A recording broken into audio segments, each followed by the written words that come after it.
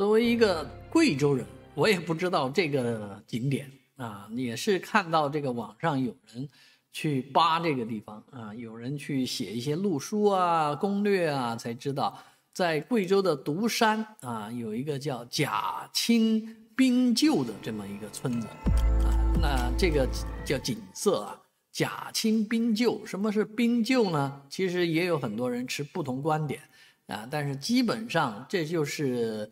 呃，叫喀斯特地貌当中的一种体现，就是漏斗啊，这个地面的漏斗，它其实会连通到地下河啊。那从地面上石灰岩啊被水长期的这个滴漏以后形成的啊。当然，另外一种说法是冰川啊，冰川遗迹啊。我曾经去过这个呃绍兴的那个千里石浪啊啊，那个石浪冰川。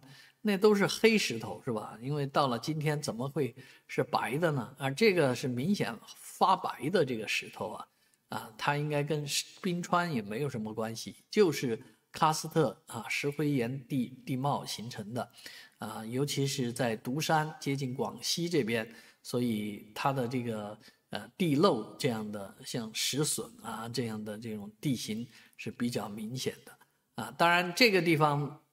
为什么很多人不知道？主要就是交通太困难，很难得走到这个地方。虽然只有短短的几公里，但是有人说在这地方走一天也不过走两公里，因为上上下下、爬进爬出，所以很难走啊。为了看这样的景色，费那么大的力，可能也是呃不值得吧。但是中国的景色确实是很优美，很值得开发。